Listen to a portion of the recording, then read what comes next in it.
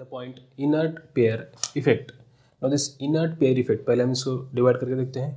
Inert you know that inert gases है फिर inert element हम जिसको बोलते हैं ज़ीरो ज़ीरो ग्रुप एलिमेंट है अपना। उसको इनर्ट क्यों कहा गया है? क्योंकि वो लोग रिएक्शन में पार्टिसिपेट नहीं करते हैं।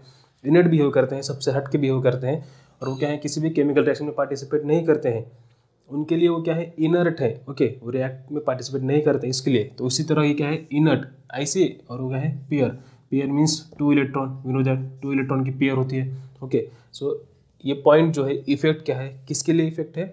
इनर्ट पेयर ऐसी पेयर है जो क्या है? इनर्ट है, जो कि पार्टिसिपेट नहीं करती है। ऐसी पेयर के बारे में स्टडी करना है, उसको क्या कहेंगे?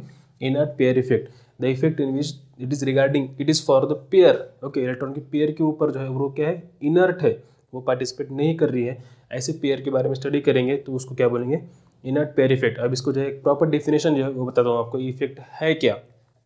Okay it is a tendency of two electrons okay pair है, यानी कि दो इलेक्ट्रॉन है, ये फ़र्स्ट और ये सेकंड ओके दो इलेक्ट्रॉन है. It is a tendency of two electrons to remain unshared okay it is a tendency of two electrons to remain unshared in the outermost s orbital okay outermost s orbital के जो दो electrons हैं, वो क्या होते हैं? Unshared होते हैं ओके वो शेयरिंग नहीं करते हैं और वो जो है आयोनाइज नहीं होते हैं तो उसको क्या कहेंगे? Inert pair effect it is a tendency of the two electrons of the outermost s orbital okay which remain unshared वो शेयरिंग नहीं करते हैं which remain unshared of post transition metals जो पोस्ट ट्रांजिशन मेटल है transition metal जो है, हमको पता है D block element is called as transition metals तो डी ब्लॉक एलिमेंट्स जो बीच में डी ब्लॉक एलिमेंट है अपना, इधर एस ब्लॉक है, इधर पी ब्लॉक है, ठीक है?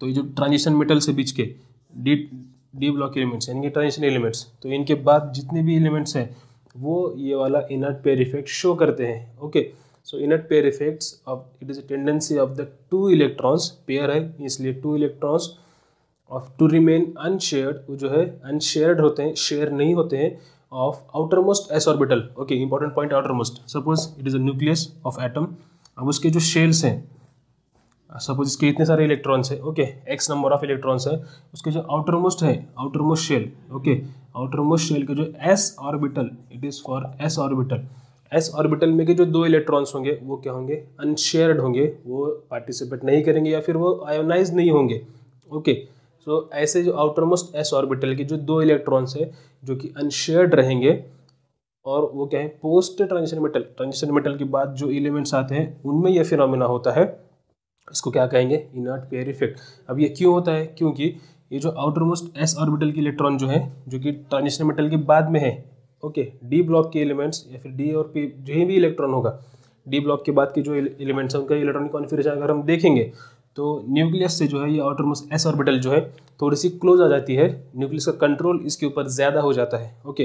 Nucleus having more control on this s orbital इनका जो अट्रैक्शन है वो ज़्यादा हो जाता है, इसलिए एस ऑर्बिटल से वो इलेक्ट्रॉन निकालना मुश्किल हो जाता है, okay?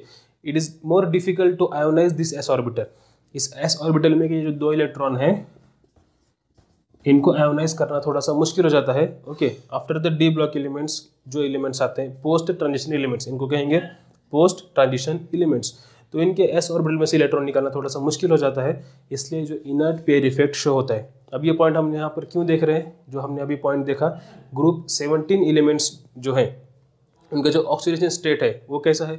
टॉप टू बॉटम जब ऊपर से नीचे आते हैं तो ऊपर जो है ऑक्सीडेशन स्टेट क्या है? प्लस सिक्स है।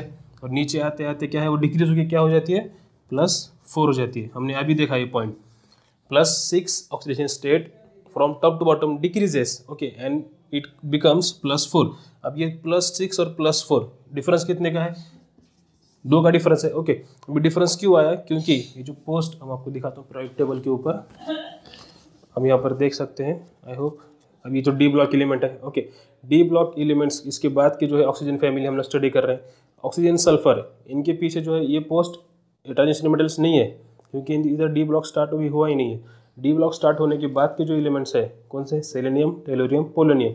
अब ये तीन एलिमेंट जो है, ये पोस्ट ट्रांजिशन एलिमेंट्स हैं। डी ब्लॉक के बाद जो आने वाले एलिमेंट्स है, ये तीन एलिमेंट्स हैं। तो सल्फ़र जो है प्लस सिक्स ऑक्सीडेशन स्टेट दिखाएगा। मगर जैसे ही नीचे नीचे आएँगे तो ये जो तीन एलिमेंट है, ये क्या है? पोस्ट ट्रांजिशन एलिमेंट्स है। और उनका जो एस सबशेल का आउटर मोस्ट जो सबशेल है, वहाँ से दो इलेक्ट्रॉन निकालना मुश्किल हो जाता है। इसलिए क्या है?